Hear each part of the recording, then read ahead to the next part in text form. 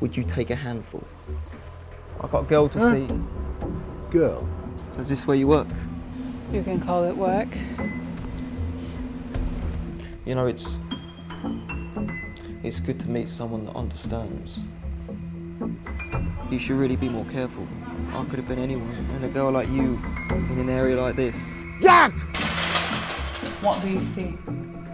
I mean, it's, it's funny, you know, people like you and me, we get sidelined on our own streets just for just for standing up what we believe in. What do you see? Come on, the lads need you. I'm busy. Yeah. No, mate, I've got better things to do. Come on, what better things, yeah? So, what do you want to do?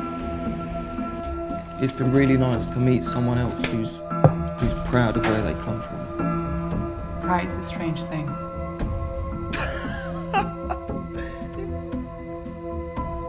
You, you need to stop living in fucking fantasy worlds. Let me ask you something, and think about this really hard. What do you see?